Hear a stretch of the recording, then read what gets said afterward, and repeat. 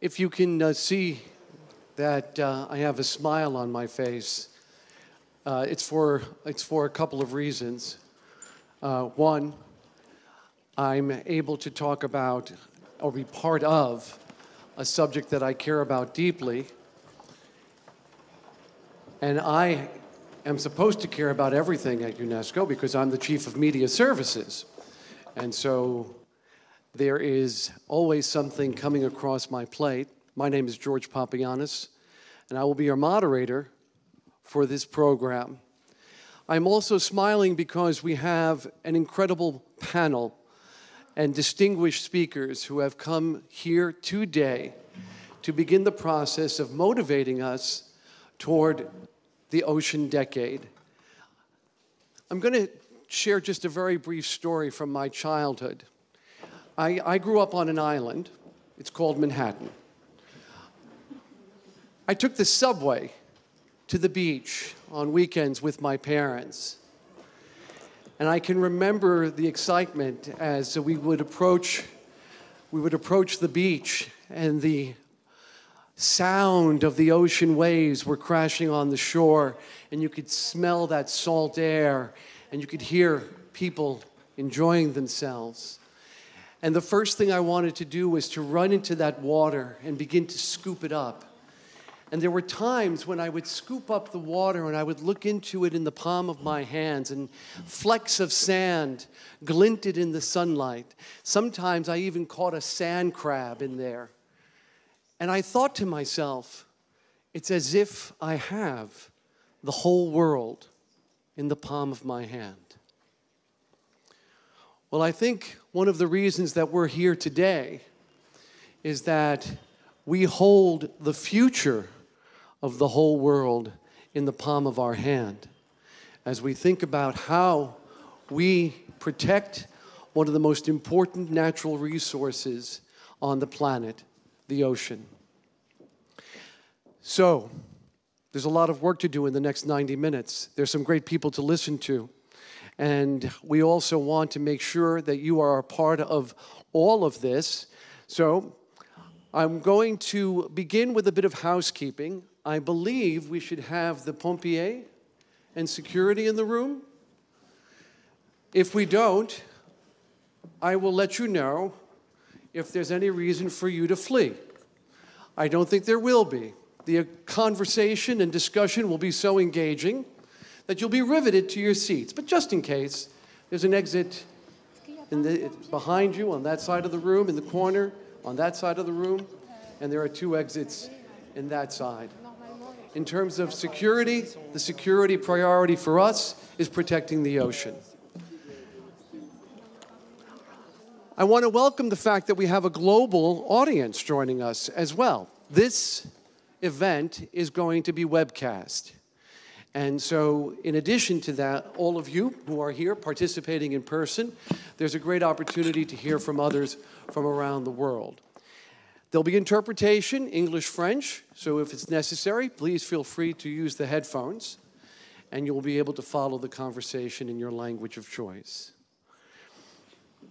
So, how are we going to engage throughout this wonderful event that we've pulled together. How are we going to include people from the far reaches of the planet? Well, if you look up into the four corners of this wonderful room, which is room 10, the room of the executive board, one of our, one of our governing bodies uh, here at UNESCO, in this beautiful room, look into the corners. And you'll see that we have something up there that says slido.com. Join at slido.com. And at this point in time, uh, I'm going to tell you to do something that nobody ever tells you in a meeting. I'm going to tell you to take out your phones. Yes, grab that mobile, turn it on, open up a web browser in your mobile, and go to slido.com. This is how you are going to participate in this meeting. We are using this mobile friendly web platform as a way for you to interact with us. On this web platform, when you go to slido.com, you will see a, a very simple interface. It'll say event code. Enter the event code, hashtag Ocean Decade. As you see, hashtag Ocean Decade. Now, why are we doing this? It's an important part of, of inclusiveness. Very often, the situation in conferences is that 75% of the people who are attending don't really ask a question, although they might want to. But this is a way to participate and to, and to improve inclusiveness. It also allows us for an opportunity to include those who are watching from anywhere in the world on this webcast. So I want us to be inclusive of a global audience. I want you all to be able to participate, and I want you to use the slido.com platform for engaging with us because there'll be a few things that we're going to do over the course of the next 90 minutes. We want your questions, we want your comments, but we also want to take the temperature of the room at different times. So there'll be a number of polls that we are going to do. So let's go to our first poll, which is already up on the screen, but it's on your Slido platform. And from that poll, we're going to ask you to identify who you are. So, which kind of ocean stakeholder are you? Are you a member state? Are you an NGO? A uh, scientist or an expert? Are you from the private sector? Or are you from just another interested party? So let's see how those numbers begin to, uh, to reflect. And we see that uh, member states are among uh, the uh, largest number, at least right now. And I would say that that is probably a reading of the room and not necessarily the global audience. So we're going to ask you now, as we're getting that, I noticed that we have the pompier in the back of the room. So I'm going to invite him to come forward and uh, say a few words. Merci. Mesdames, Messieurs, bonjour. Bienvenue à la maison de l'UNESCO. Mes collègues de la Sûreté à l'extérieur et moi-même sommes là pour votre sécurité et le bon déroulement de cette manifestation.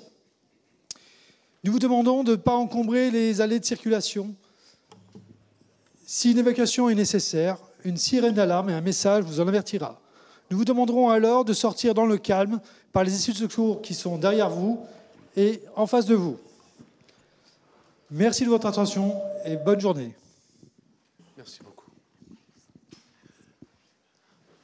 Okay, so we've gotten done with uh, some of that housekeeping, and we can take a closer look at uh, what's on the uh, poll. I'm going to go to this one here, which is a little bit closer to me.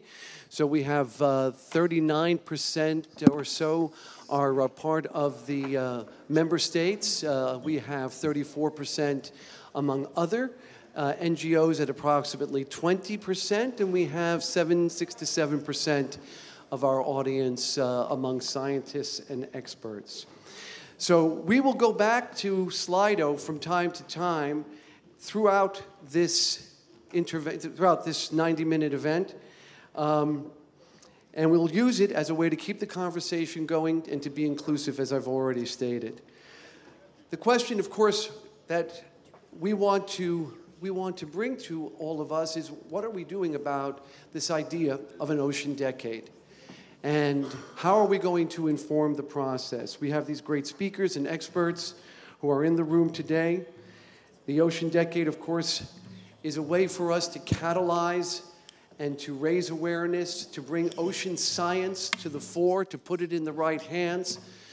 That requires an, a complete pantheon of participants getting involved from the man on the street, from the woman on the street, all the way up to a president, the head of a general, of a, of a, um, of a general assembly, a national assembly, from the United Nations to your local government. These words need to be spoken, but what words will they be, and what messages are we going to bring? Are we going to bring? So, before I introduce our first guests, we're going to uh, watch our first video, and that first video is telling us We about share- the International, I'm sorry, the Intergovernmental Oceanographic Commission.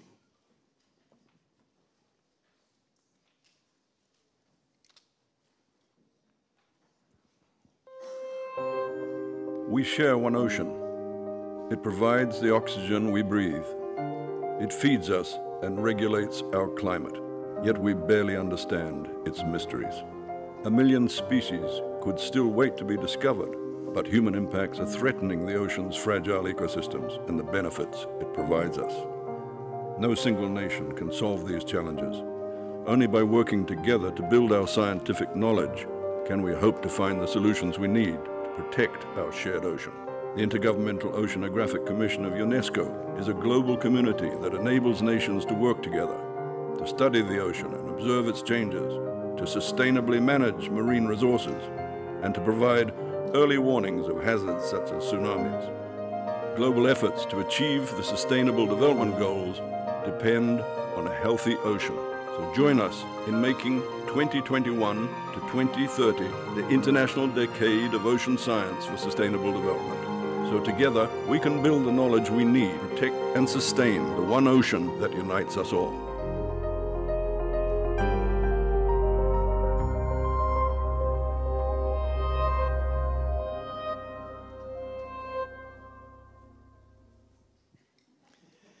If it, yes, let's go an applause. If it wasn't for the fact that Ambassador Peter Thomson has taken on this Herculean task of uh, taking us into the decade, I think he'd have a, a great career as a, nar- a narrator of, uh, of movies. Ambassador Thomson, thank you so much for uh, bringing that to life for us. Remember, to be part of the co- conversation, just you see it up there, we want you to use slido.com. Don't forget the hashtag uh, for the event code, which is hashtag Ocean Decade. At this time, it's my pleasure to uh, welcome our uh, first speakers for our opening remarks, the Director General of UNESCO, Irina Bokova, and Bjorn Haugstad, the uh, Vice Minister of the Ministry of Education and Research of the Government of Norway. Director General Irina Bokova is going to be leaving us in a few days as she comes to the end of her second mandate. Over these eight years, much has been accomplished. On calm seas and clear sailing, and as one might guess at times, through trying times and troubled waters. But one thing that was always there was a steady hand at the helm. And for that, we are very grateful. It is my pleasure to introduce Madam Irina Bokova, the Director General of UNESCO.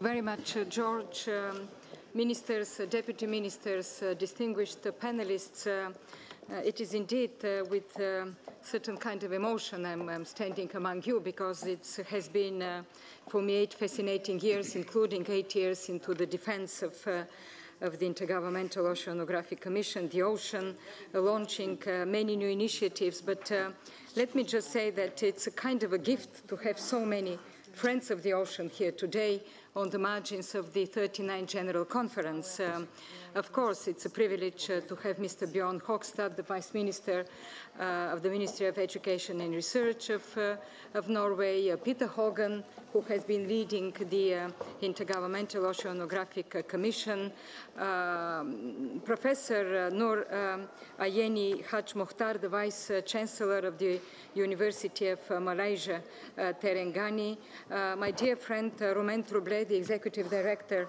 of the Tara Foundation, and also with whom we launched uh, our joint platform, uh, uh, Ocean and Climate, uh, and also uh, the Ocean Climate Initiative uh, Alliance. And of course, last but definitely not least, uh, is Ambassador Peter Thomson. I was just worried that uh, uh, when the, the documentary came and I heard the voice, uh, I said, where do I know this voice? I know it so well, this voice. Um, uh, and then I, I, looked around and I said, it's close, close, close, very close. and then I didn't see it at the end and I said, it's not possible.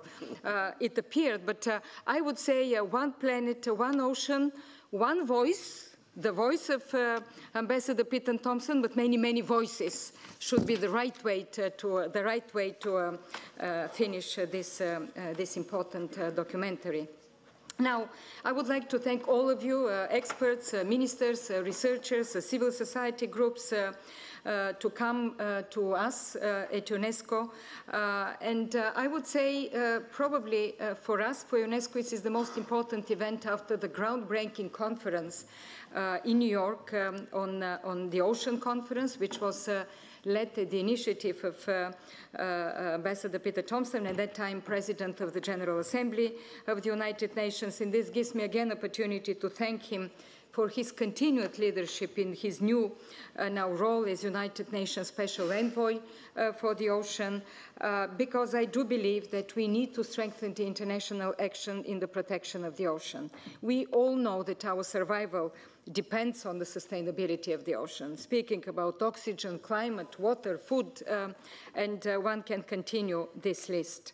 Uh, it provides half of the annual um, uh, production of the oxygen we breathe. It's the main uh, climate regulator that exists on the Earth. It's a main source of proteins for more than a quarter of the human beings. And yet, and we have said it many times, emphasized that we have only limited knowledge of the ocean. We have explored just 2% of it, and we protect less than 5%. Uh, very often we say that sometimes we know more about the space, we know more about the stars than we know about the ocean.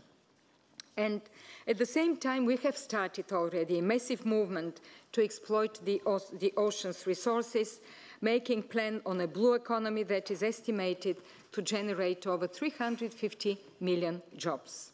So the way to manage the ocean is definitely not what we call a gold rush mentality. We need, first and foremost, better, sharper knowledge. We have to understand the ocean, to manage the sustainability of ecosystems and biodiversity, and to know better still its role in climate change. The good news is that more than 35% of the commitments made at the United Nations Ocean Conference relate to scientific knowledge, to research capacity, and to marine technology. This is why we consider that our UNESCO's work and advocacy is so important. UNESCO is working all across the board to enhance ocean science through our, I would say, flagship, one of our flagships. It's uh, Intergovernmental Oceanographic Commission. We published the Global Ocean Science Report for the first time as an essential tool to provide data on scientific capacities to, access, to assess progress and we launched also something that I mentioned before with uh, uh, Romain the Ocean and Climate uh, 2015 platform. It was before the um, Paris uh, uh, Climate Agreement, a very important moment for all of us. And we brought the civil society research community to include the ocean in all solutions relating to climate change. I believe that this tireless advocacy that uh, we jointly have made we at UNESCO, researchers, um, uh, governments, uh, uh, uh activists, uh, brought and shaped the Sustainable Development Goal 14 that we are also proud of, which is dedicated to the conservation and sustainable use of the ocean, seas, and the marine resources. I would like also once again to commend Ambassador Peter Thomson because I know that he was behind the driving force behind uh, being a permanent delegate to Fiji at, uh, in New York, uh, uh behind the uh, adoption of this uh, goal, which is a set-alone goal dedicated to the sustainability of the ocean.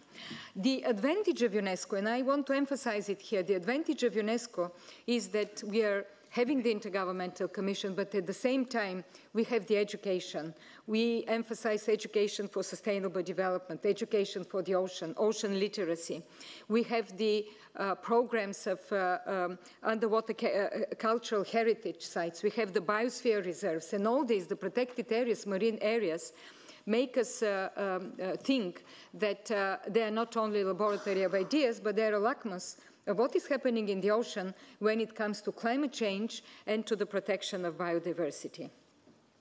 Alors, mesdames et messieurs, nous avons parcouru un long chemin en aidant à prendre conscience de l'importance de l'océan, mais nous devons aller beaucoup plus loin, et je dirais plus vite, pour relever des défis qui vont au-delà des capacités d'un seul pays.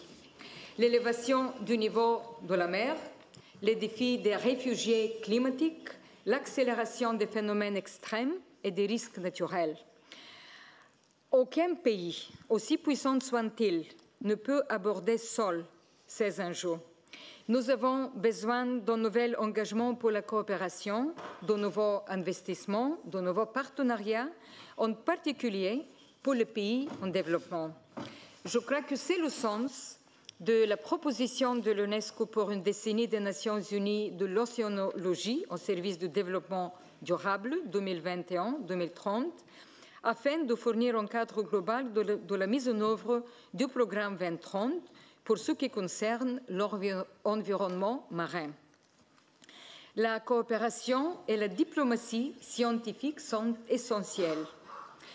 La mer, disait Jacques Cousteau, est la grande unificatrice et le seul espoir de l'homme. Maintenant, comme jamais, ce vieil adage doit être compris au sens littéral. Nous sommes tous dans le même bateau. L'UNESCO est un lieu pour transformer cette sagesse millénaire en politique concrète, pour un changement réel, pour une notion durable et une terre plus habitable. Merci pour votre attention.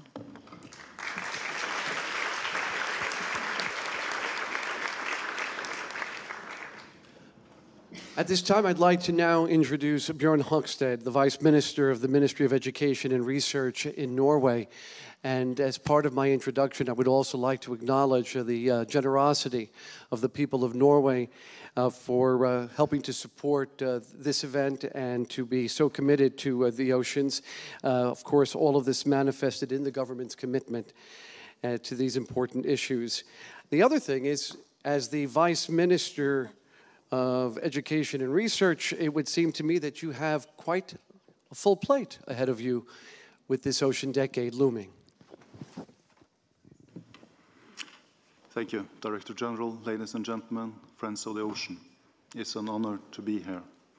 And I would like to start by thanking Director General Bokova for her wise introduction and for her immense effort for strengthening the position and work of UNESCO for the last eight years. Director General, thank you. In the distant past, the ocean gave rise to life as we know it. It still does. Keeping the ocean healthy is thus a matter of life itself. SDG 14 stresses the importance of both conserving and sustainable use of the oceans, which is very much in line with Norwegian policy. Estimates predict a doubling of the ocean's contribution to global value creation by 2030. But this potential will not be realized unless we keep the ocean healthy. Today we are focusing on the SDG 14, the ocean goal. But the ocean is of vital important, importance to most sustainable development goals, not least the goals to end poverty, to end hunger, and to combat climate change. We thus have every reason to focus on the ocean, to preserve and manage it. Norway is an ocean nation, and we have always been so. The ocean has always been a source for survival and riches, and a route to friends, allies, and trade partners. Thousands years ago, thousands, thousand years ago, the Norwegian Vikings were a bit rough in their practices, these days, we emphasize peaceful cooperation. The ocean has been considered unchangeable, constant, and without limits. It has been the provider of food and the recipient of waste. Now we are facing reality. Our common ocean is changing, and it thus has limits. The list of grave, grave problems is long. Acidification, litter, and loss of biodiversity are but a few. On the positive side, we now witness an unprecedented attention and momentum in the global community to save the ocean. The UN Ocean Conference in New York was a milestone. The last Our Ocean Conference in Malta is another example of important gatherings, and I'm happy to remind you all that our Ocean 2019 will take place in Oslo in Norway. In Norway, The ocean is high on the political agenda. Last year, the government has presented a new strategy for sustainable growth in ocean industries. We launched a white paper on the role of the oceans in Norwegian foreign and development policy, and a white paper on the update of the integrated management plan for the Norwegian Sea. In our long-term plan for research and higher education, the ocean is one of the top priorities. The awareness and the shared feeling of urgency growing among politicians, researchers, institutions, and indeed the general public at large. Even though we have to act nationally and locally, the health and sustainability of the ocean is not a national matter. This is truly global. We need international cooperation and the pooling of knowledge, resources, and joint action. We welcome wholeheartedly the appointment of Peter Thomson as the UN Special Envoy for the Ocean. Prime Minister Solberg underlined in her statement that the increased focus on the challenges and opportunities relating to the world's oceans is crucial if we are to achieve sustainable development. She continued with announcing that Norway will provide support and funding for the Secretary General's Special Envoy and that Norway is looking forward to cooperating with him closely. The IOC has proposed an international decade for ocean research for sustainable development, a proposal fully supported by Norway. Under the leadership of IOC Chair Haugan and Ex Executive Secretary Ryabinin, I feel confident that the international decade will make significant contributions to giving us the ocean we need for the future we want. Thank you.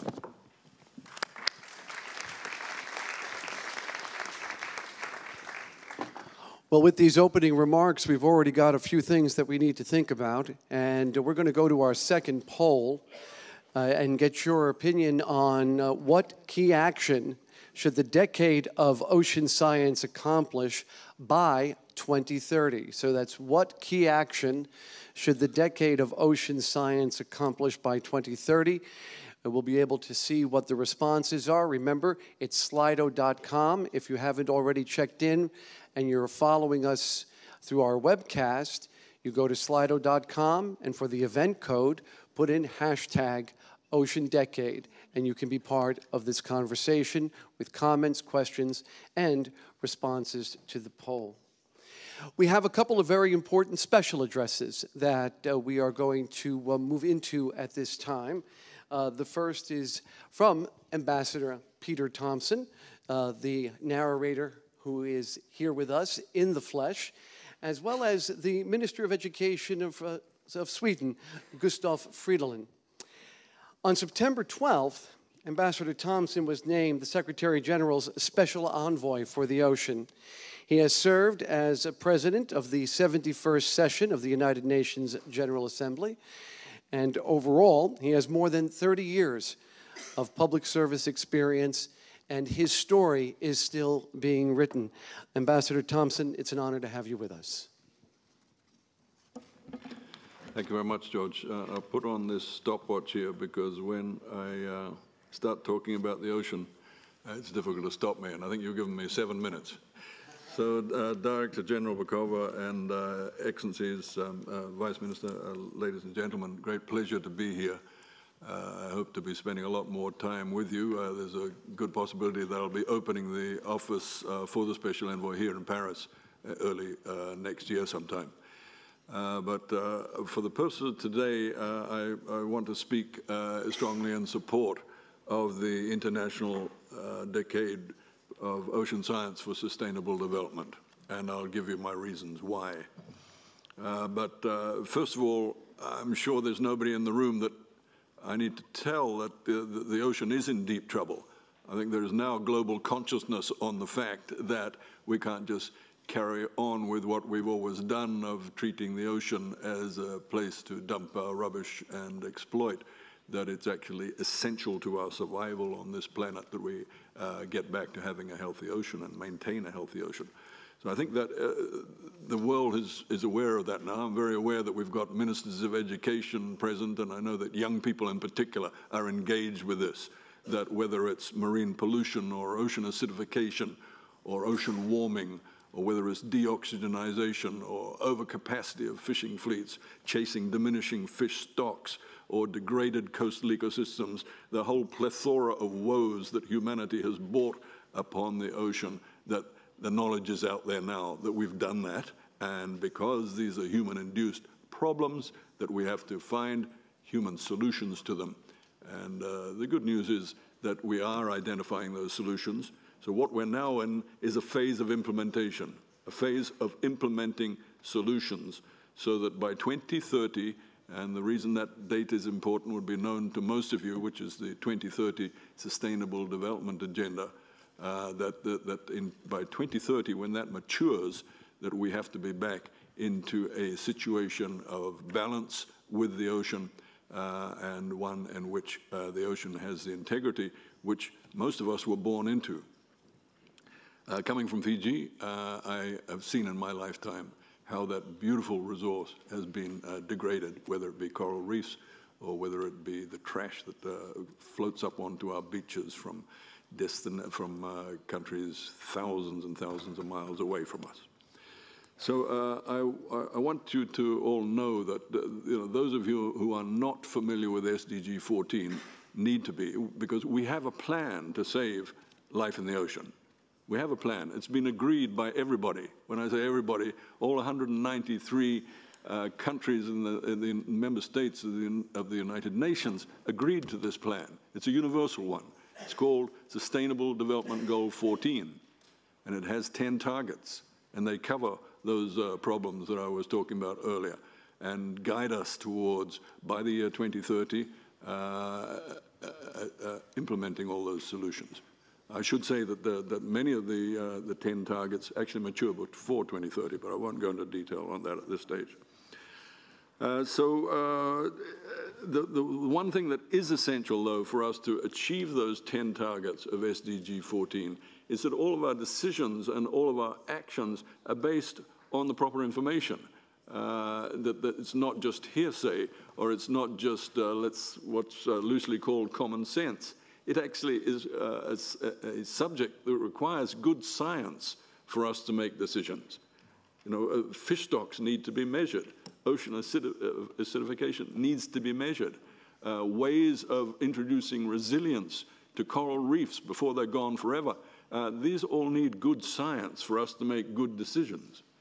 So uh, if you look at SDG 14, you'll see that the eighth target is actually related to improving our knowledge of marine science uh, and uh, to uh, research on the ocean and in fact to uh, transfer of technology as well amongst us all, particularly to developing countries. Because when it comes to the ocean, there is only one ocean. Uh, the old uh, Mare Nostrum view of, of, of, oceans that somehow they belong to certain powerful countries as the Romans thought the Mediterranean was theirs. Uh, that, that is just nonsense. There's, there's, one planet which is the common heritage of mankind, and we all have this responsibility to understand what's happening out there in that ocean, uh, and so that we can make the right decisions. So um, I want uh, to emphasize that point that without good science, we're not going to make good decisions. And if we're not going to make good decisions, we're not going to have success by uh, 2030 when the SDG 14 matures. So the International Decade of Ocean Science for Sustainable Development is, uh, is a timely one. Um, let me give you another reason why that timing is so important. And I can see George closing in, but according to my stopwatch, I've still got another two minutes. Uh, and uh, the reason that, um, that, that uh, the, the, science aspect is so important, uh, sorry, that the timing aspect is so important. 2021 to 2030. Uh, as I said earlier, the SDG 14, the plan to save life in the ocean, matures in 2030. So that decade uh, will be taking us through uh, uh to that maturation point. Um, there's another reason, which is that in 2020, uh, we are pushing for a second uh, United Nations Ocean Conference to be held in 2020. The thing to understand about these UN ocean conferences is these are the only moments when humanity as a whole comes together and makes decisions about what will be done uh, to uh, save life in our ocean. This is the only time when we're all bound together by one agreement. Even the, uh, the United Nations law of the sea is not a universal agreement, but SDG 14 is. And so it's at a UN conference that we can make universal decisions. So that 2020 conference, very important because it's going to shape us for that final decade of implementing SDG 14. And that's where the IOC's uh, suggestion of having this uh, international decade of marine science from 2021 to 2030 just fits in so perfectly. So uh, I, I, think that's probably the right uh, note for me to conclude on because I see my stopwatch now tells me that my seven minutes are up. Thank you, George. Thank you very much, Ambassador Thomson. You, you aptly identified what I call my two-minute stroll. we are also joined today by Gustav Fridolin, the Minister of Education of Sweden, where he has served since 2014. The minister and I also have uh, something in common. We both uh, were reporters at one time. I think you were at TV4. I actually was at TV5. Of course, we were separated by an ocean.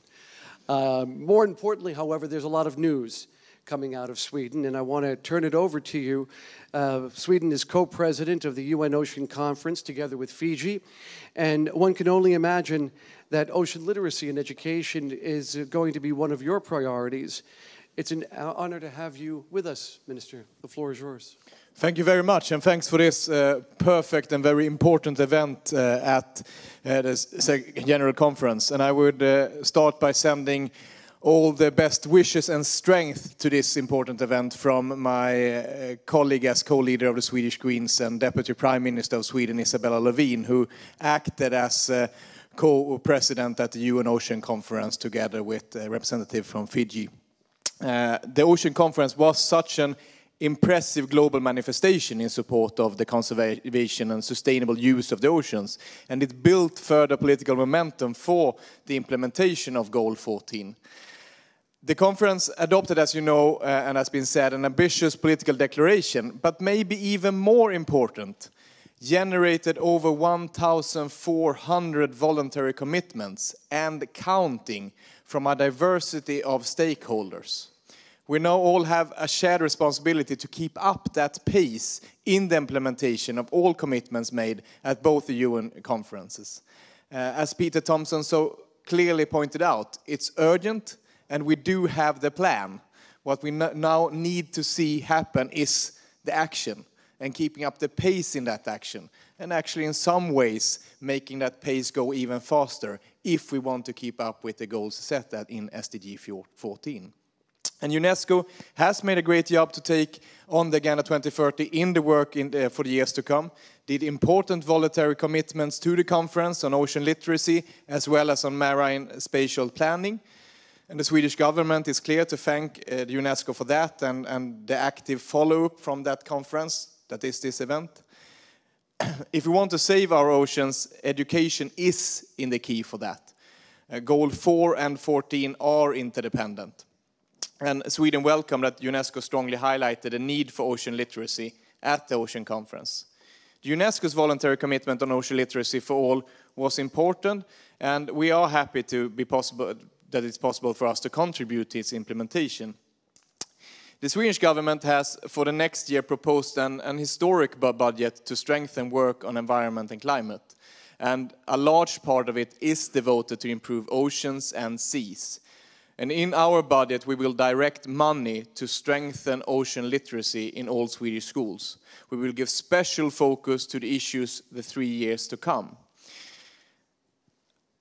We are many countries that now are taking the work and the pledges and the uh, contribution, contributions that we left on the Ocean Conference back home And it's so important to see that it actually happens, to follow up in the budgets, in the legislations, in the campaigns made, in the, uh, uh, in the budgets for science, that what we have said to be happen is also happening in each country. Sweden is doing its part there, and we will be happy to help and happy to assist, and we would also be happy to see UNESCO work with uh, all member states make sure that its contribution, its pledges, and uh, what's been said at the Ocean Conference is actually happening in each country. Thank you very much, Minister. It was again a pleasure to have you with us. And if I may, just a round of applause for all of our speakers who have helped set the stage uh, for what will be the oncoming roundtable. Please, thanking our speakers.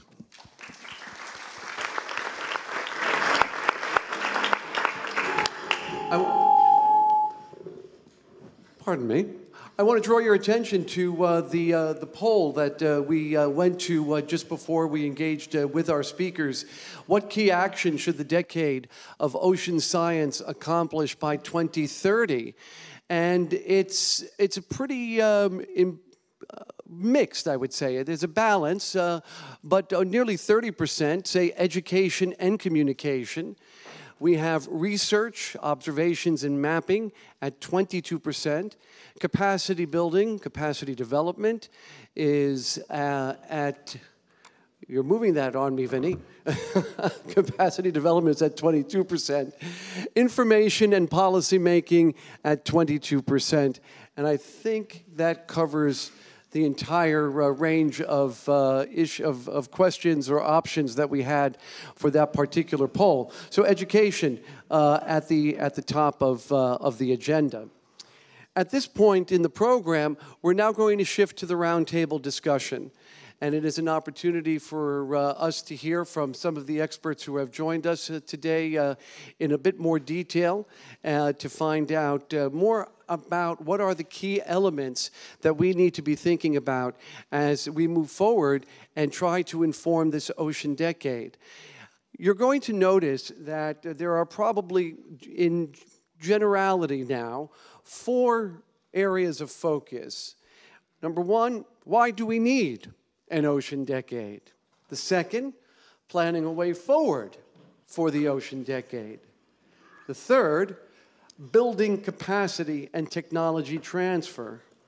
And the last, catalyzing ocean science within civil society.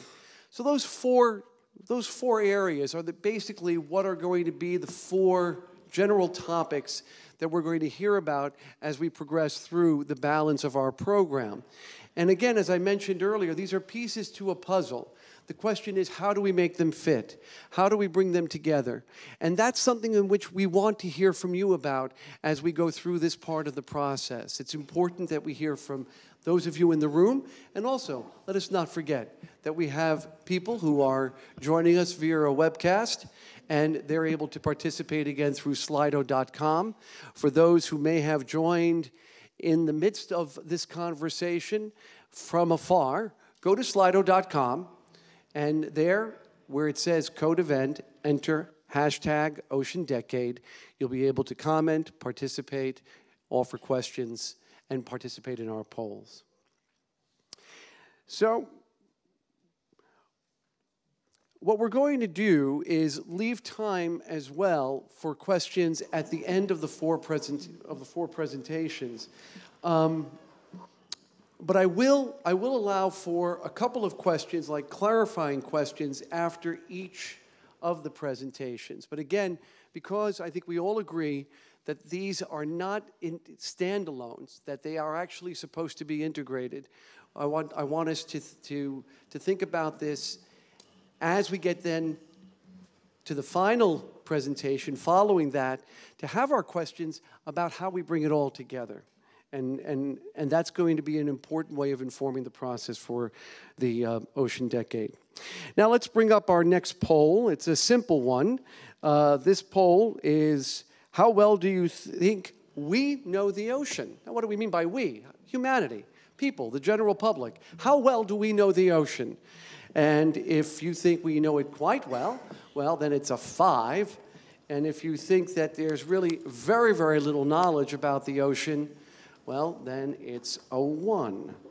And so already some of the poll numbers are coming, are coming in, and uh, we can see that, uh, generally speaking, uh, nobody thinks that uh, we have a very good knowledge of the ocean. I guess about 1%, that looks like to me, maybe uh, think that there is even a very good knowledge. We're really in the unknown, and we cannot afford to allow ourselves to be ignorant about how we proceed. And we're going to start to fill that information gap uh, right now with the first of our roundtable discussions. And it is my, but before we go there, we're going to watch another video about the Global Ocean Science Report.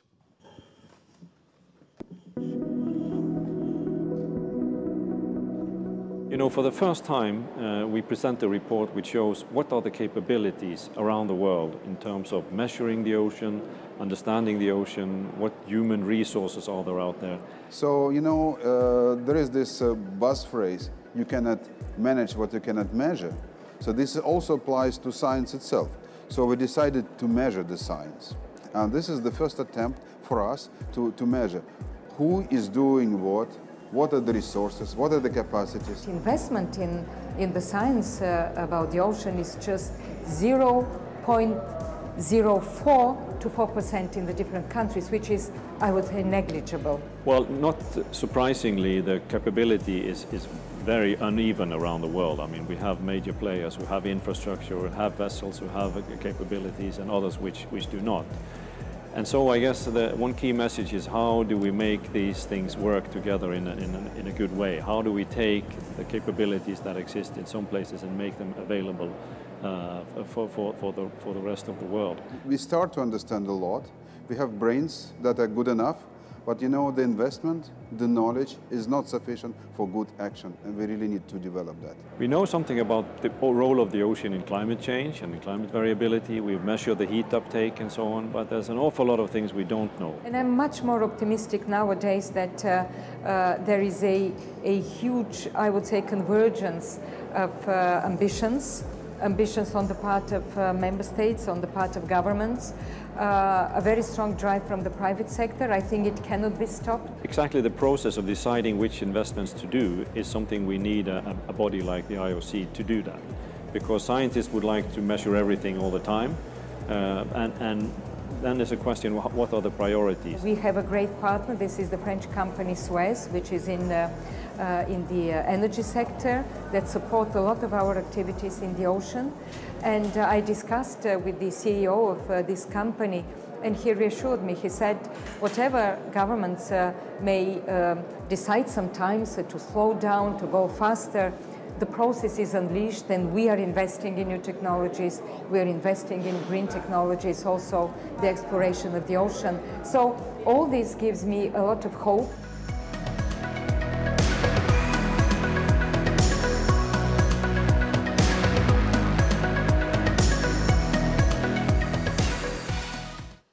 I think we have to end on that note. All of this gives me a lot of hope. There are huge challenges out there. I think we recognize it. We look at the poll numbers. We can see that there is an information gap that we need to fill. Vladimir Ryabinin, the executive secretary of the Intergovernmental Oceanographic Commission, even cites that issue in the, in the video itself. And it's my pleasure to introduce him to you as well. He has been the executive secretary of the Intergovernmental Oceanographic Commission since uh, March of 2015. We take a look at the poll, kind of gives us an idea of what we're up against. Um, and is this a call to having an ocean decade that is aspirational as well as uh, potentially reasonable in terms of boosting international cooperation in ocean science? Thank you very much, George. And uh, you know, I think I, I, will try to give you a more or less scientific presentation. Uh, we have all uh, managerial reasons uh, to, to, to, to, start the decade, but let me just frighten you a little bit and show to you the real state of affairs in this field. And now I really wanted to, to do it in a very succinct way, and for me to do this, it would be to focus on the three major areas of activities of IOC. This would be healthy and productive ocean, resilience to climate change variability, and safety of people. And of course, they all depend on science. So, um, you know, in principle, we have to use the ocean, and this is what we call blue economy, which has to be sustainable. But they have some showstoppers. The blue economy may actually, as Vice Minister said, grow twice by 2030. But we have some very significant problems in the ocean. And not uh, exhaustive set of this would include pollution, and this also is a science-intensive topic because, for example, plastics and microplastics, there is a lot of unknowns there, also a lot of unknowns in how we treat, treat them, and what are the substitutes, because some substitutes create more harm than the normal plastic. Then acidification, it's a totally new thing, the other side of the climate, climate problem. And if carbon, carbon gets to the water, it remains there for thousands of years. So we have to do uh, some research how to adjust the life to this carbon. Then oxygen and the dead zones in the ocean. There are more than 500 dead zones in the ocean. So uh, this also requires, there are at least five reasons to have these dead zones. So we need to study them and predict them. Then algal blooms. We are going to have um, a system to predict uh, the algal blooms, and they are harmful for fish, harmful for people. They have to be predicted. They're harmful for water to, to, do, to do, salinations. Then uh, sometimes we have oil spills. Now we're embarking on the production of oil. Is this? Then, uh, of course, comes illegal unreported, unregulated fishing, basically criminal fishing, and also some fraud in the seafood sector. Addressing this also requires predictions, transparency based on science, and some observations. So what would be the approach to, to address this? The approach is known. The approach is coastal zone management, maritime special planning that also require significant science. And the target of IOC would be to achieve uh, by 2030, 50% of total area of exclusive economic zones covered by governmentally approved maritime special plans. This will require observations, but also new observations. For example, observations of ocean uh, life in the ocean, and we do this through the Ocean Biogeographic Information System for the whole world. But we also need to take some actions. One of these actions will be the total science that is required to restore coral reefs, but not only them, the ecosystems around coral reefs that stri strives the coral reefs. And of course, we don't know a lot about ocean ecosystems, particularly deep ocean ecosystems. Some of them were just discovered. So geographical discoveries in the ocean are still possible, and even some scientific discoveries are still possible. Let us move to the second area. The second area would be climate change. And uh, we have, uh, for the, uh, uh we need to have healthy ocean to ensure that there is carbon sink that mitigates climate. And apart from the physical measurements in the system, and you can see how a glider can interact with satellites and send data to, to, to the satellites. Um, we, we, can state that, uh, in principle, um, the physical state of the climate system is known really, uh, really better than others. But unfortunately, the biological and ecosystem state are known quite, quite poorly. So what is happening, that, and we know from these uh, measurements that 93% of the, of the heat go to the, uh, of the excess heat due to carbon go to the, goes to the ocean. And this creates, for example, sea level rise. We need to ensure that we have good defensive plans for uh, sea level rise. And, uh, for example, uh, in, in United Nations in New York, there is a so-called Big U, a plan. But this plan goes for, for big cities and developing countries. What is going to happen uh, due to sea level rise, which is the fastest in the Pacific to Pacific Islands? This is a huge problem. Also requires a lot of science. And then we need to predict, of course, uh, climate not only for the millennia and, and, hundreds of years. We need to predict climates for a year ahead to know where we are going to have forest fires, droughts, inundation, cold out, uh, outbreaks. This requires also ocean observing system. And uh, the elements of this observing system exist, but we can really move forward and have good predictions. Predictions, for example, of tropical cyclones, they are enabled by ocean information. But not everyone, again, can do this. So we need a system that would be really measuring capacity and developing capacity. And then it takes me to the area where we speak about safety of people. So this is a, a, picture of the uh, uh, Sumatra tsunami in 2004, total devastation. And after that tsunami, we were able to develop a, a system that warns about tsunami around the world. But this system is based on the poor information on ocean mapping. And I can show you, this is the best map of the ocean uh, bottom that we can have. Based on satellite information, direct measurements. But you know, the resolution of this map is five kilometers. If we look at the map of the Mar of Mars, excuse me, of Mars, this map has 25 times better resolution. And we live on this planet. We don't live on Mars. So this, uh, this picture of total devastation on one beach was avoided. This girl, Tilly Smith, um, went on the beach with her parents. Two weeks before the tsunami, she attended a, a, a lesson given by Andrew Kearney, her teacher in geography, and she was given information about tsunami, how tsunami may look. She warned her parents, and parents reluctantly uh, informed the hotel and moved away from the beach. The beach was evacuated. 100 people were saved. And this is an example how ocean literacy is important. This girl saved lives of 100 people. So uh, we really need to take oceanography into schools. I think this is, will be uh, the, the idea of the decade. Move forward science and take it to people. Thank you.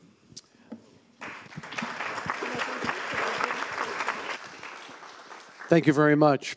I know I made a promise. I said that we would take some questions after each of the presentations, but we're running a little bit behind on our time. And so to uh, save some time for questions at the end, we're going to proceed from one presentation to the next. Uh, we're also going to put up another poll, uh, which I'd like you to take a look up, uh, look at, because it uh, it sets the stage for uh, Peter Haugan's uh, presentation. Of course, he's the chairperson of the International Oceanographic Commission. And it's basically what we need to know from you about how to take the ocean decade forward. So you've got some multiple choice answers there uh, climate, food security, economic growth, sustainable consumption, water and sanitation, and, and education. So take a look at those, provide those answers while I give an introduction to Peter Haugan, who holds a professorship in oceanography at the Geophysical Institute for the University of Bergen and is an adjunct research director uh, at the Institute of Marine Research in Norway as well. His own research has spanned from climate and polar research to marine renewable energy. Peter, we can see from the poll numbers uh, now that uh, where they're going to be taking us, climate is far and away uh, at the uh, top of people's concerns, 76%. Food security at 58, 59%. Education, 34%. Issues related to economic growth at around 30%. So uh, there is at least some framework there for where those concerns are. Um, what's our way forward? How do we move this agenda? Thank you, George, and uh, thanks to all, all who are here. Uh, I'll address the question, but I'd like to start by, by thanking in particular Peter Thomson and Irina Bokova, who has been made clear here through their contributions and the mentioning uh, how important the support we're getting from the IOC when we launched this initiative to bring it to where we are today and, and where we want to, to take it, it forward. Um, in terms of climate and food, uh, definitely um, the ocean plays a, a, a crucial role.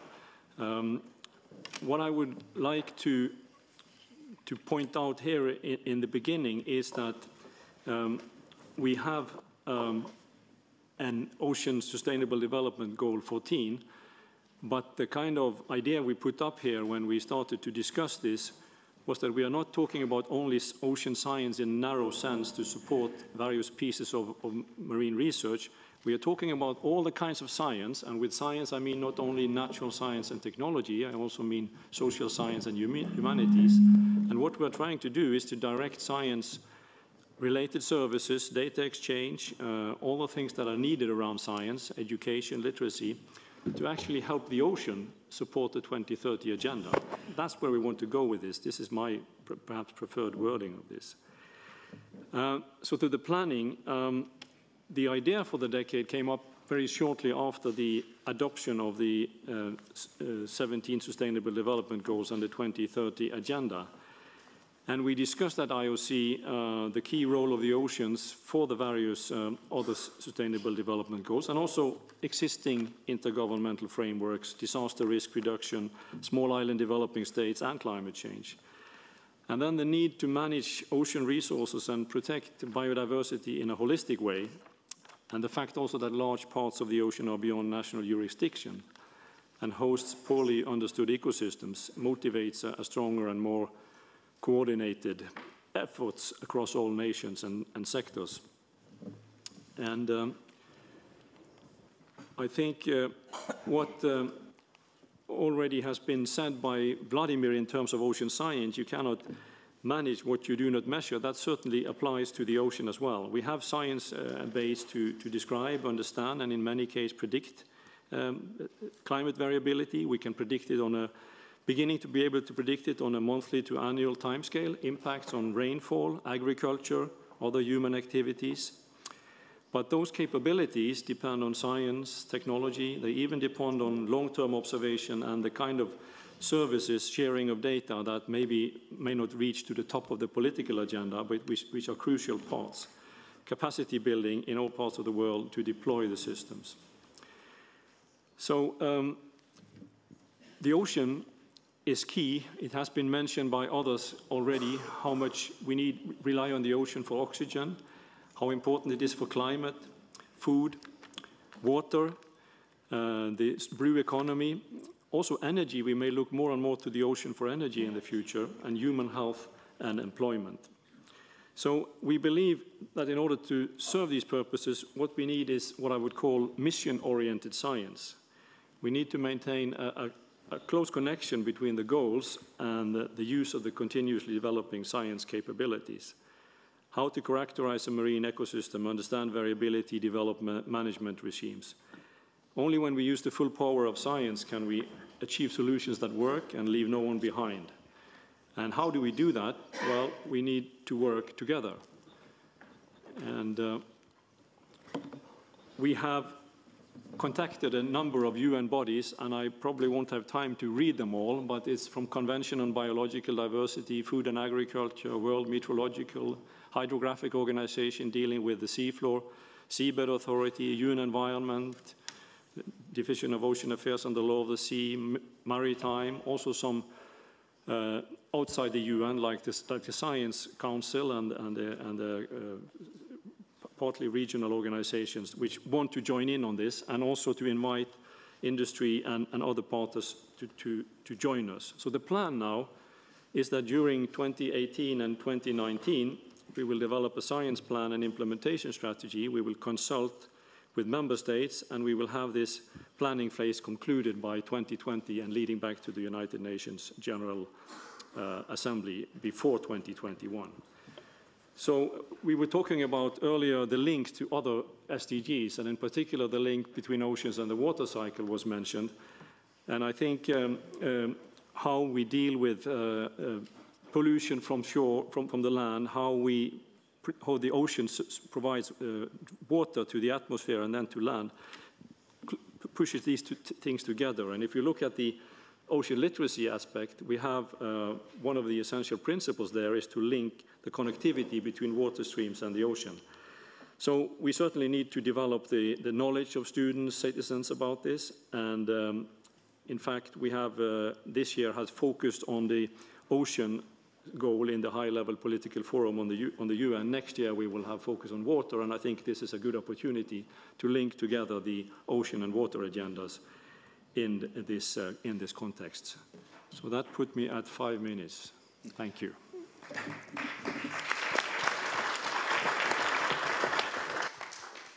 I'm not going to uh, argue about a few seconds there, Peter. Nicely done. Many thanks. And our next poll uh, is going to uh, set the stage for our next guest, Professor Dato, Dr. Nor Aieni Haji Mokhtar Vice Chancellor at the University of Malaysia uh, in Terengganu, if I'm pronouncing that correctly. Uh, the poll that we want you to uh, give a, um, a look to is a multiple choice. You're allowed to make uh, three choices among uh, the uh, five that are there. How would the decade of ocean science help you at the national level? How would the decade of ocean science help you at the national level?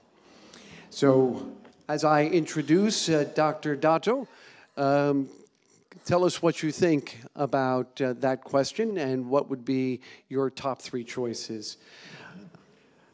Professor Dato uh, has been involved in teaching, supervising research and consultancies for more than 35 years related to physics, hydraulics, physical modeling, data management, coastal engineering, environment, marine sciences, including climate change, coastal and island studies, as well as strategic and planning policy studies in the areas of R&D, commercialization, technology transfer, and innovation.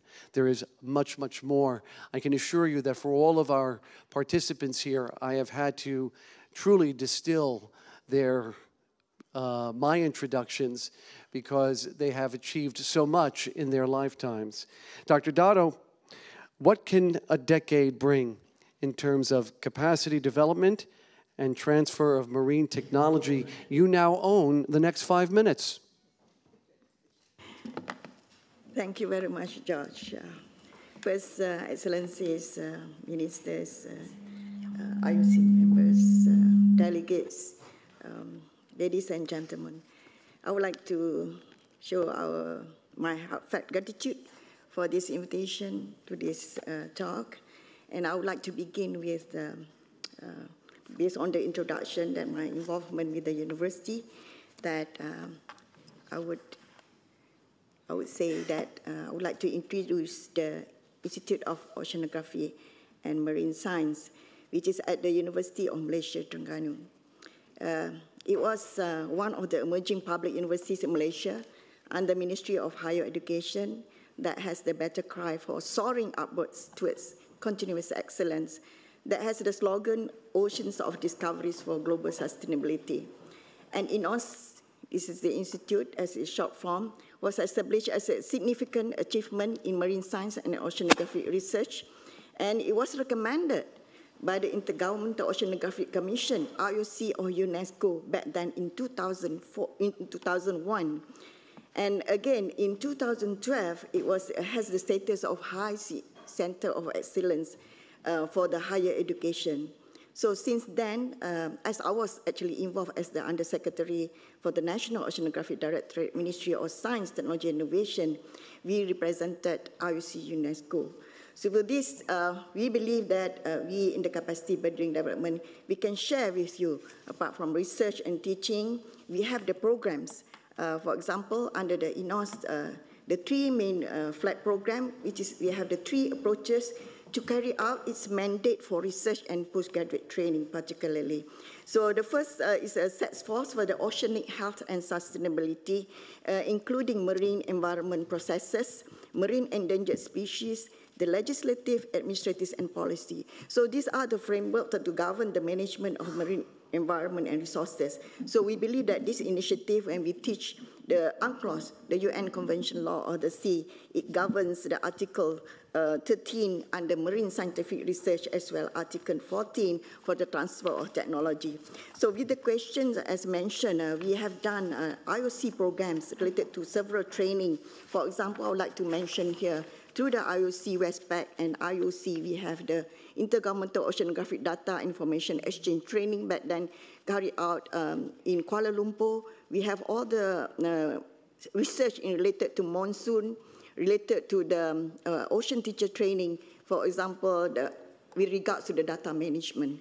So in terms of other programs, uh, one particularly uh, training event that was just recently considered in, in Kuala Lumpur is on the OBIS, ASEAN Nodes and Coral Reef Training Course, training for marine GIS application, as mentioned uh, by Vladimir, that the importance of this. And we have the the group of people, but then we had the trainers from Belgium, trainers from Malaysia, trainers from IOC, having the participants from other countries, for example, we have from Bangladesh, Japan, India, Iran, Malaysia, Philippines, and Vietnam. With this, we bring the experts to the region, as well as we have the experts from the region to actually teach from other people. For example, we have our director of InnoCell that actually talk about GIS and teach Bangladesh, Brazil, China, Fiji, Indonesia, India, Lithuania, Malaysia, and Vietnam. So we do believe that we cooperate with all these member countries with the technology, and we hope that in, the, in, in conjunction with the SDG 2030 and for the Global Ocean Science Report, we believe the components for policies integration, mainstreaming it for the collaboration and partnership with the various national and government international, we must actually advocate in terms of understand, understanding science elements uh, to measure them and to manage them. So we believe with that report, we are in support of the global, regional, and national data centers transformation for more effective and efficient management of the exchange of ocean data that promote open access. We believe also the ocean science policy interaction from the national to regional and international level provide and encourage stronger active platform where we can promote science and policy interaction at the national, raise its voice as one voice in the international fora as we talk about friends of the ocean. We align the national reporting mechanism in the ocean science capacity, productivity, as well as the performance. And we realize that there are group, the Sustainable Development System, global, actually report um, the, the performance. For example, uh, recently in July uh, 2017, the SDG Global Ranking Index score. So we look at Malaysia, we rank at 54 out of 157 countries. I'm sure other countries also can do better, but we are in that region, we are above average score. So in Malaysia also, we launched recently the book for Rising the Challenge, Malaysia's contribution to the SDGs. So ladies and gentlemen, we fully support on the framework, the guidelines for development of partnerships, the national level assessment, technical and human capacities, and we continuously to support all the IOC initiatives and programs. And we believe that through the IOC subsidiary, IOC Westpac, and all other um, regional programs, for example, under the Coral Triangle Initiative, Coral Reef Fisheries and Food Security, both uh, bilaterals and multilaterals from IOC member states, we believe that the NGOs, government, the international organization can do it for the next decade, inshallah. Thank you very much. Assalamualaikum warahmatullahi wabarakatuh. Thank you very much, Dr. Dato. Well, it's a nice transition into uh, into hearing from our next uh, our next speaker when we start to talk about the engagement of civil society. I just want to draw everyone's attention very briefly to. Uh, the uh, three top uh, selections of how would the decade of ocean science help you at the national level raising awareness among decision makers at 74%, creating a stronger science policy interface, and raise investments in ocean science. So those were the top three at 74%, 64%, and 56%. So clearly there is uh, a lot of interest, again, in raising awareness and education, and a lot of that begins with civil society. Our final poll is going to be not about what you think, it's going to be about what you're going to do because this poll is going to ask how do you propose to contribute to the decade of ocean science? And it is the perfect setup for bringing to the microphone Romain Troublé, who is the executive director of the Tara Foundation, also representing the Ocean and Climate Platform and the Ocean and Climate Initiatives Alliance and who also happened to produce our next video.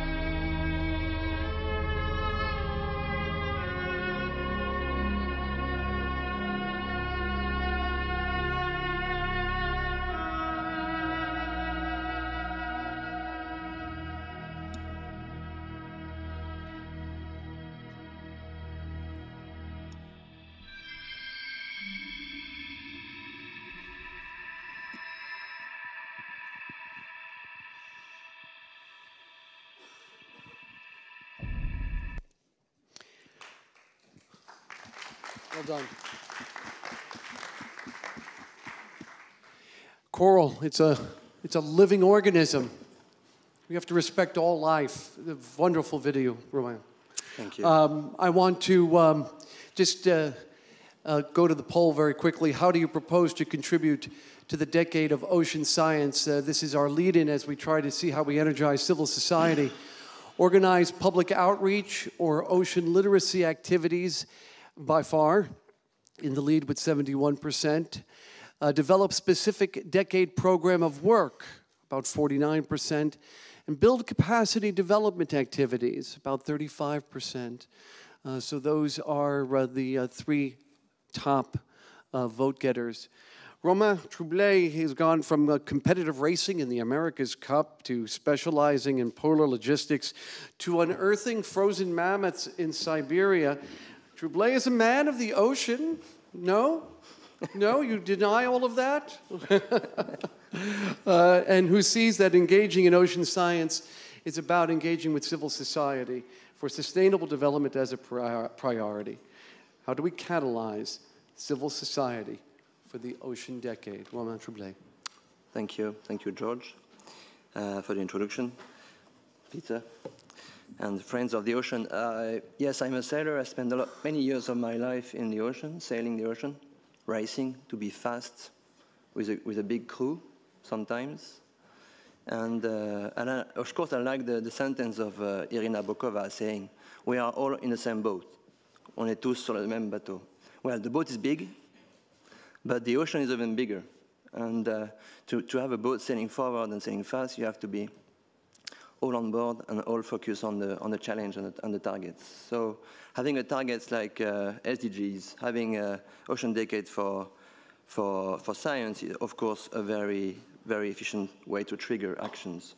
That's why I believe. So big ocean, we need all energies uh, to, to find solutions, of course. We need the businesses, we need the people, we need the researchers already, of course. And uh, we need to share this science. We need to share the understanding of, of, uh, of the ocean with the general public. This is very tough for the people. They are very far from the ocean. They, people believe in Paris that they are on the, on the land, that there's nothing to do with the ocean in their daily, daily life. This is, this is a challenge for us all, and uh, this is what we do at the Tara Foundation to try to promote science and explain this science with policymakers, people, and kids. So thanks to the tremendous efforts of the scientific institutions over the last 50, 60 years, we took the pulse of the ocean, we took the temperature of the ocean, we charted the ocean, and, uh, and now we are beginning to take some blood samples. We are beginning to, to look at the biology of the ocean. The medical technology is now getting into the ocean, looking for DNA, looking for organisms. 80% of of uh, what we find in the ocean is barely unknown to our uh, databases. So there's a big, big challenge ahead for big data and, and, big, uh, and the future understanding of what the fate will be for the ocean in the future. So as an example, Tara, Tara Foundation is a drop in this ocean of actions. Uh, it's 10 years, uh, 11 expeditions run with the CNRS, French-led scientific institution in France, but also with many, many other countries, scientists. 100,000 kids on board in 62 countries came on board. Uh, many, many articles, 20,000 press articles on ocean issues, ocean topics, telling stories about that. And now capacity building in a few countries from uh, in the south, southern uh, uh, uh, developing countries. So this is really to try to make mind the gap between the science and the people, to try to bring the people on board by, by storytelling, explaining them how it is to be on a boat at sea, how the ocean is important for you and, you and me. And uh, since Rio Plus 20, with the IOC of UNESCO, we started as a foundation to support a, a Blue Pavilion in Flamengo Park in Rio Plus 20, talking about uh, uh, the future of BBNJ, the future of uh, high seas in uh, high seas governance. We followed the SDGs uh, with ocean, at the COP21, we build up with many, many folks on here in the room, the Ocean and Climate Platform to try to get to, be, to get together people to speak with one voice for the ocean and climate uh, uh, agenda. Uh, it was a big effort. It was more than 80 institutions from many countries. And when I see the poll, your poll number three, George, I see climate SDG is the most, the closest link to the ocean. I'm very happy about this 81% of people who saying, saying yes. This is kind of a success of sharing with civil society the big, the big issues of, of the ocean. And of course, now we have the Ocean and Climate uh, Alliance uh, to try to bring forward this action agenda and to try to, to look for solutions for. So for me, for us all as a civil society uh, uh alliances, people, is key to, is key to share the science, to, to share this uh, ocean decade, and also it's key to teach the scientists what are the goals we need to look, look at uh, from, the, from the policy to the scientists. It's both ways, I believe. So yes, we are on board for, the, for, the, for this ocean decade, and uh, we are in the starting block, I would say, to follow you and to really bring forward these messages of ocean science need. Thank you. Thank you very much, Romain.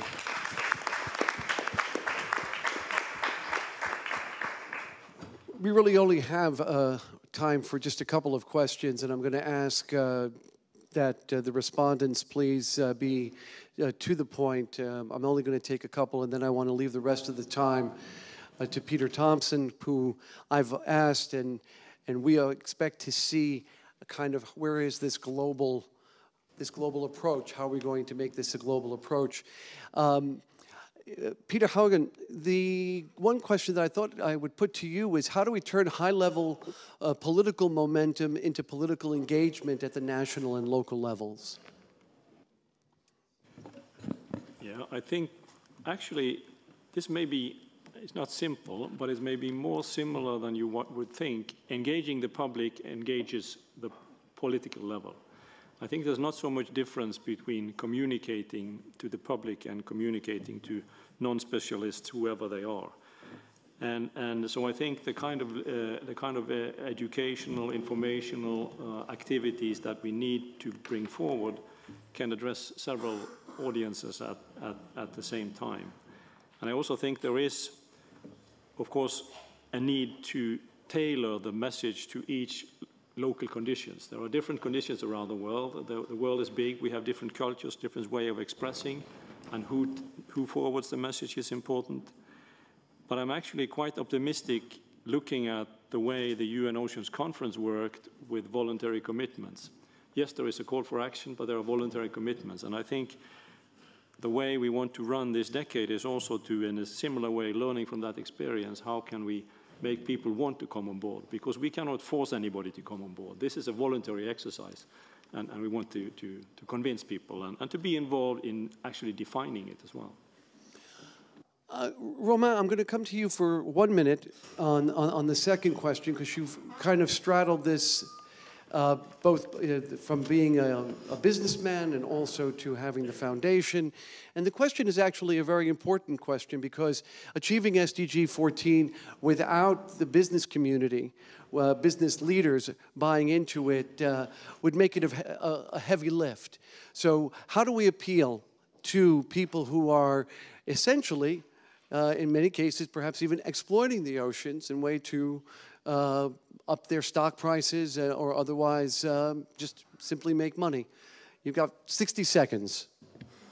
I think the businesses, when I speak about businesses, I don't speak about only about uh, ocean businesses. I think today when we meet uh, businesses in France and everywhere in Asia as well, we, you tell to them, you, you tell them about the importance of the ocean for sustainability. And uh, they don't see, the, they don't see the, the problem. They don't have any clue about the problem. So first is to explain uh, to them what the stakes are, what we talk about, and then is to engage them at the global level to, to, to support these efforts in science, in research. These people are very sensitive to science, to research. They do this in their business every day, so they can understand this link, I think. Thank you very much. Okay, at this time, I think it's important for us to try to bring this together, and I'm going to turn my attention to Peter Thomson uh, Ambassador Peter Thomson, who is the special envoy on the oceans, who is attempting to, to bring it together so that we can, we can raise this awareness, that we can begin in 2021 with the Ocean Decade. Peter Thomson, you've uh, heard some very excellent uh, contributions uh, from the panelists. We've had a few good questions from, uh, from our audience. Uh, where do you see the thread? If I can beg the indulgence of the, of the translators to be, to be with us for the next three minutes. Oh, we get five. Thank you. Uh, listening to all these. Look, I think uh, in terms of sum up, uh, for member states present, uh, there's a very strong message that needs to go out to all member states now, 193. There's some huge responsibilities out there of things that need to come together. Um, and uh, obviously supporting the uh, International Decade for Marine Science for Sustainable Development is one of the responsibilities that member states have got on their plate and need to uh, take to a responsi responsible delivery before the end of this year. I think December is when we're targeting for uh, that to be adopted. And that's one thing for member states.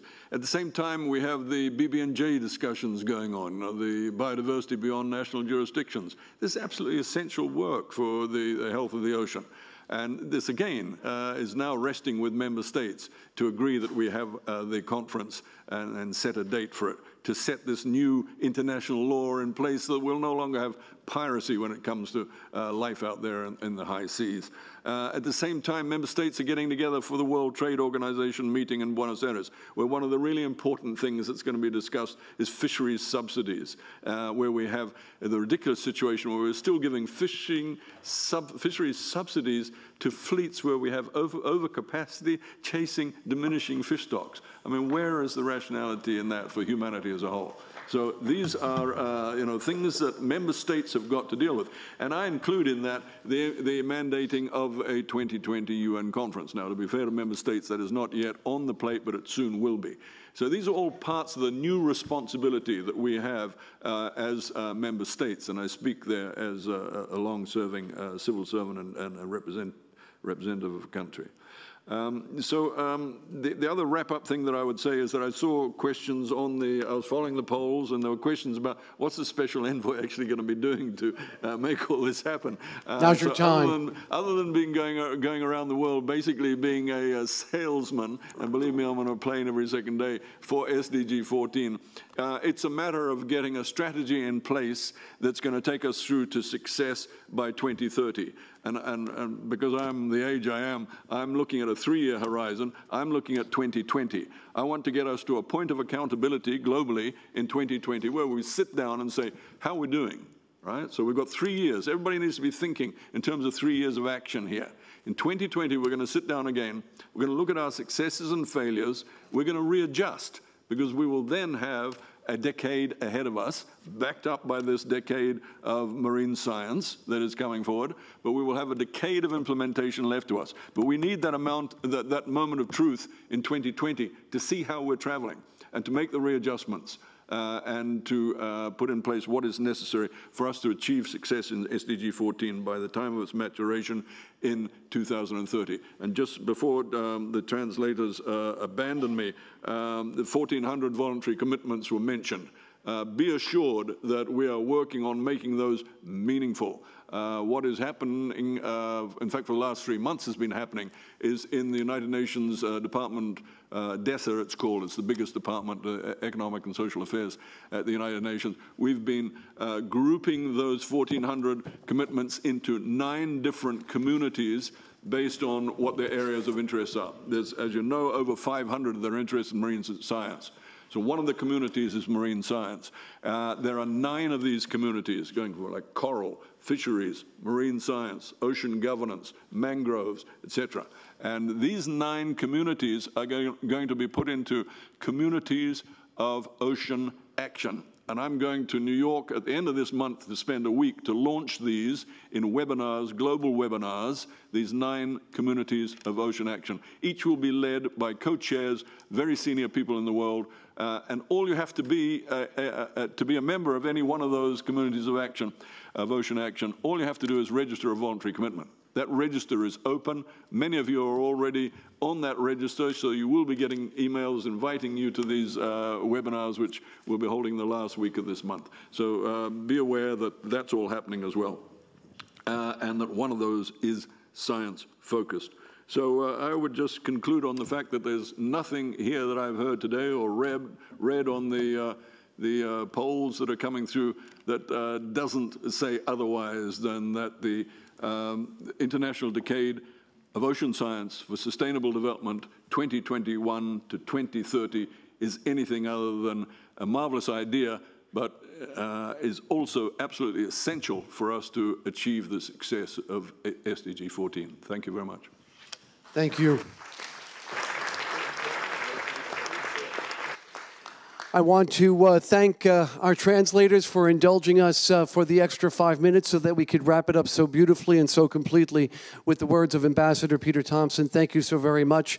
I want to thank all of the members of our panel for their excellent contributions the speakers, of course, the Director General who joined us earlier, and the members of the IOC Secretariat, who you also have seen some of them were very instrumental, all of them were very instrumental in making this event possible, and their contributions helped to inform the process of how we would bring this forward. I also would like to uh, just very quickly mention a couple of other people who are in the background. Ksenia Yvinec from uh, the IOC, uh, Rajan Herve Smaja as well from the IOC, Vinny Lindoso, who is handling the Slido and doing a wonderful job with that, and Aya Khalil, who is also there helping out with uh, the uh, technology that we've been doing.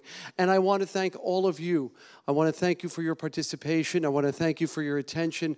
And I want to thank you for, for, for truly being a part of the solution. I wish you all Oh, I forgot the technicians. Thank you guys up in the corner for keeping me on mic and everybody else in the, uh, in the game. Again, thank you all. Let's do it for the oceans. Have a great and wonderful afternoon.